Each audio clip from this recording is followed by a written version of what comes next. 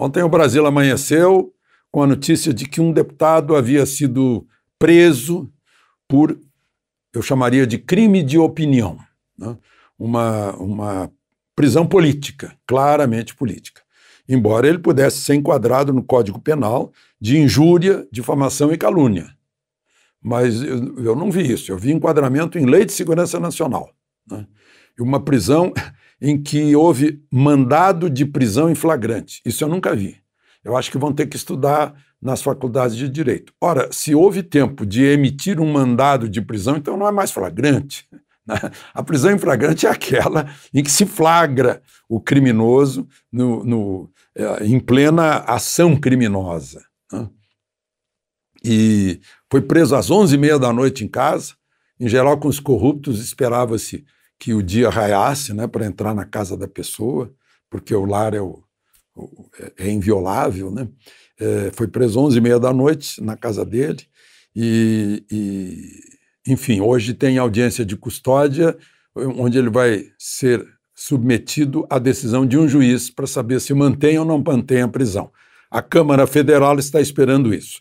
A alegação do Supremo eh, foi que, num, numa gravação de quase 20 minutos que eu vi, né, ele eh, usa de palavras de baixo calão, de termos chulos, ele ofende o Supremo, ele faz acusações a ministros do Supremo, diz que gostaria muito de ver um ministro na rua levar uma surra e tal. Né? Isso, eu acho que isso aí é questão para a comissão de ética da Câmara. Uh, a comissão para examinar o decoro, a conduta desse parlamentar e puni-lo de acordo com, com a, a, gravidade eh, do que ele fez em relação a outro poder. Né? Não vejo lei de segurança nacional, porque a fala dele. Uh, uma que não é o que diz a Constituição, que crime inafiançável é, é só se ele tivesse com armas na mão, reunindo um grupo armado para derrubar governo, ou derrubar Supremo, ou derrubar Congresso, seja lá o que for. É o que está escrito na Constituição, quem quiser ver a linha 44 do artigo 5 né?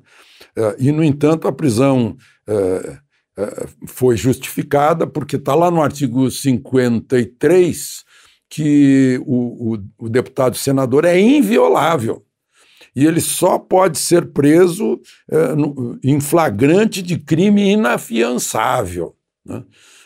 O, o, o, artigo 220 da Constituição diz que é livre a liberdade de expressão e não pode haver censura.